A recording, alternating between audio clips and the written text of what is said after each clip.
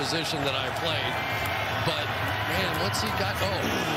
Huge hit there by Anderson. It's a big center by Bradbury, the center, who keeps going to the 14-yard line. We've got an immaculate reception that from a lineman.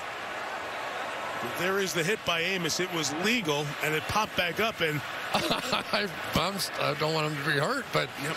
that's an unbelievable play by a center. Garrett Bradbury got right out there, and like you said, almost that similar area where Franco Harris caught it in the early 70s at Three Rivers and made the catch and went on for the touchdown. Just a huge, Mm. clean, legal hit on the back end. But for Bradbury to see that is Yep. one thing. For Bradbury to make the catch is another thing. For Bradbury to run like he's an NFL fullback. Yep. The third. Last play of the quarter is Mannion throwing to the goal line and in for the touchdown to K.J. Osborn.